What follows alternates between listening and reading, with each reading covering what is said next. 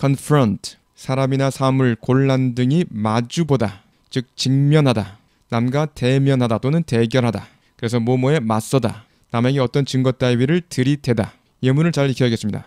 Many difficulties confronted him.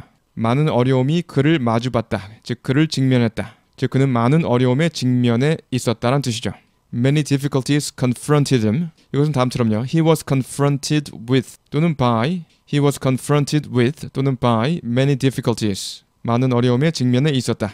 Confront him with the evidence. 그에게 증거를 들이대다. 이렇게요. Confront him 누구누구에게 그 다음에 with 뭐뭐뭐 뭐뭐를 들이대다. Confront him with the evidence. 그에게 증거를 들이대다. He was confronted by 뭐뭐뭐. 그는 누구누구와 마주쳤습니다. He was confronted by his creditors. 채권자들과 마주쳤습니다. At the gate. 대문에서. 명사형 confrontation. 직면 또는 대결. 직면이나 대결.